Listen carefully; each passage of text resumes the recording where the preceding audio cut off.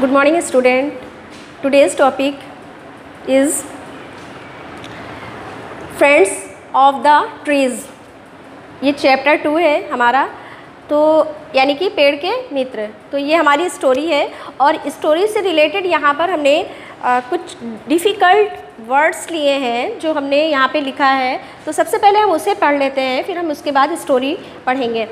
तो plenty plenty means बहुत constantly means हमेशा वुड पिकर मीन्स हुदहुद, एक चिड़िया होती है, उसका नाम होता है श्रिल मीन्स तेज़ नेक्टर मीन्स रस, बाट मीन्स छाल फ्रेंड मीन्स मित्र फेदर्ड मीन्स पंख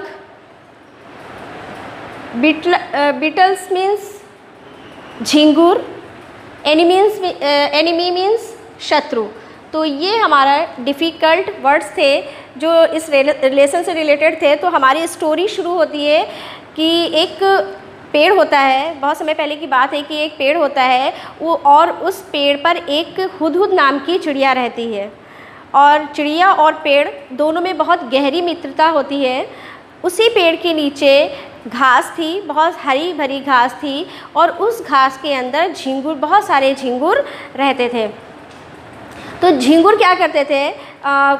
अक्सर क्या आ, वो उस घास को जो हरी भरी जूसी जो घास थी वो उसे खाते थे और अपना जीवन यापन करते थे।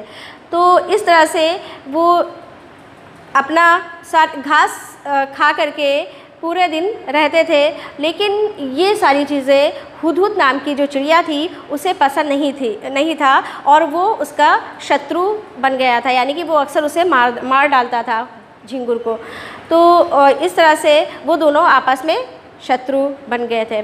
एक दिन की बात है, जब हुदहुद बाहर से आता है और वो बहुत थोड़ा सा थका हुआ होता है और वो आकर के उसी पेड़ के नीचे बैठ जाता है। तो वो जब देखता है, उसकी नज़र जब घास पे जाती है तो घास कैसी होती है कि घास बिल्कुल भी एकदम साफ़ होती है, वहाँ पर घास बहुत ही कम लगी होती है, सब उसे झिंगुर खा जाते हैं। यहाँ तक कि जो पेड़ की पत्तियाँ होती हैं, उसको भी जगह जगह पे छेद होते हैं, उसे खा जाते हैं। पेड़ की पत्तियों को भी झिंगुर खा जाते हैं। तो ये देख कर के हदूद को बहुत ज़्यादा गुस्सा आता है और वो चिल्लाने लगता है कहता है कि ये क्या कर रहे हो तुम लोग? और अगर तुम लोग ऐसा करते रहोगे तो मैं तुम्हें एक दिन मार डालूँगा और मैं तुम्हें बहुत इस तरह से तुम करोगे तो ये अच्छा नहीं होगा और मैं तुम्हें मार डालूँगा। लेकिन आ, फिर उसके बाद थोड़ी शांत होता है तो वो कहता है तुम लोग मधुमक्खी जो शहद की मक्खी होती है मधुमक्खी से तुम लोग क्यों नहीं सीखते हो कुछ? देखो वो कितना मतलब कि मेहनत करती हैं और यानी कि वो पेड़ को पेड़ के पास जाती हैं फूलों का रस पीती हैं लेकिन वो किसी प्रकार का भी नुकसान नहीं पहुँचाती हैं। उसी तरह से तुम लोग भी उसे मतलब कि इस तरह से उसका रस पियो ता, ताकि पत्तियों को किसी प्रकार का नुकसान ना हो। तो इस तरह से कहा कि जाओ और तुम उस मधुमक्खी से पूछो जा कर के वो इस तरह से कैसे करती हैं? और जब तुम इस तरह उससे पूछोगे तो वो बहुत खुश होंगे इस तरह ये सुन कर के। तो लेकिन क्या होता है कि ये सारी चीज़ें सुन करके झिंगुर ये सारी चीज़ें सुन रहा होता है, उसी पर जो है पेड़ कहता है कि हाँ अगर ये इस तरह से करेंगे, झिंगुर इस तरह से करेंगे, यानी कि सारी घास को खा डालेंगे, बर्बाद कर देंगे तो ज़रूर इनको पनिश किया जाएगा। तो इसलिए तो सारी बातें झिंगुर सुनने के बाद भी वो कुछ नहीं बोलते हैं।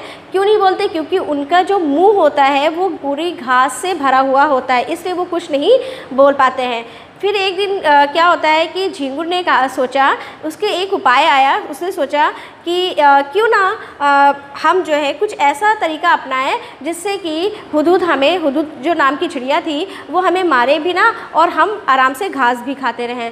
तो उसने सोचा कि हुदूद की तारीफ़ की जाए और उसके गाने की कि उसकी आवाज़ की तारीफ़ की जाए और कहा जाए कि तुम्हारी आवाज़ बहुत अच्छी है तुम मुझे गाना सुनाओ। हुदूद क्या करता था?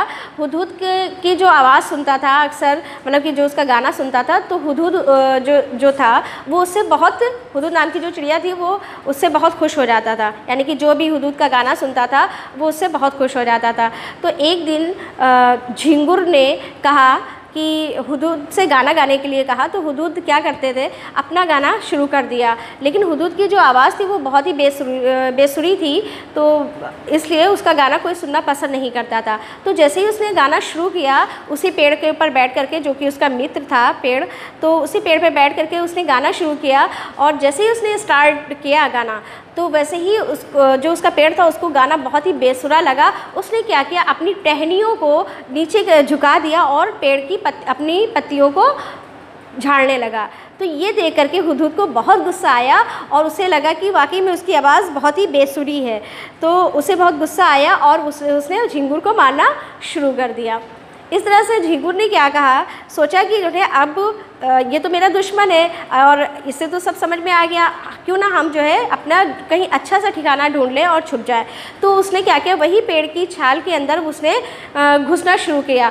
उस पेड़ की छाल के अंदर वो घुसा, और वहाँ पर उसने क्या किया? छाल के अंदर बहुत सारे छेद कर दिए और बहुत सारे अपने कमरे तैयार कर दिए। जब वो छेद कर रहा था तो पेड़ को, यानी कि पेड़ की छाल में जब वो छेद करते थे तो पेड़ों, पेड़ को बहुत दर्द होती थी जिससे वो दर्द से कराहता था। जब वो दर्द से करा रहा था तो झिंगुर ने कहा, क्यों? अब भाई तुम क्यों करा रहे हो? जब तो मैं उसकी आवाज़ सुन रहा था, गाना सुन रहा था, तब तुम, तुमने जो ने इस तरह की हरकत की कि अपनी पेड़ की पत्तियाँ गिराना शुरू कर दिया और हुदू समझ गया कि उसका गाना बेसुरा है। अब तुम क्यों करा रहे हो? तो इस तरह से झिंगुर उससे बोला। अपने दोस्त की कराहनी की आवाज़ सुन करके जो हुदू था, वो उसकी जो पीड़ा थी, उसको समझ गया और कहा कि, दोस्त, तुम परेशान ना हो, रुको, मैं तुम्हारी मदद करता हूँ। तो वो उसने क्या किया कि हदूद के जो चोच थी तो उसने क्या किया, उस चोच से छाल पर मारना तेज़ तेज़ मारना शुरू कर दिया, यानी कि अपनी चोच को पेड़ पर मारना शुरू कर दिया, जो छाल जहाँ पे झिंगुर रह रहे थे, और उस छाल पे इतनी तेज़ तेज़ से मार रहा था कि झिंगुर मरे जा रहे थे। तो इस तरह से वो बहुत तेज़ और तेज़, बार बार बहुत तेज़ तेज़ से वो झिंगुर को छाल पे मारता और झिंगुर मर जाते थे। तो इस तरह से धीरे धीरे करके सारे झिंगुर मर गए थे। तो फिर उसके बाद इस तरह से झिंगुर जब मर गए तो पेड़ को काफ़ी आराम मिला, यानी कि उसको दर्द में काफ़ी आराम मिला और इस तरह से उसने अपने दोस्त की सहायता की। तो झिंगुर ने, सॉरी, पेड़ ने हुदूद का धन्यवाद अदा किया, धन्यवाद किया और कहा कि हदूद वास्तव में तुम मेरे एक अच्छे मित्र हो जो तुमने मेरी इतनी कठिन परिस्थिति में मेरी मेरी सहायता की है। तो हदूद ने भी कहा कि हाँ तो आ, मैं तुम्हारा अच्छा मित्र हूँ लेकिन तुम भी मेरे बहुत अच्छे मित्र हो। तो ये आ, हमारी कहानी थी यानी कि हमें एक दूसरे की सहायता करनी चाहिए। जब को, कोई भी विपत्ति आती है तो हमें घबराना नहीं चाहिए बल्कि एक साथ मिल करके उसका सामना करना चाहिए तब हम उस विपत्ति से निकल पाएँगे। तो ये हमारी स्टोरी थी। आई थिंक आपको स्टोरी समझ में आई हो तो थैंक यू।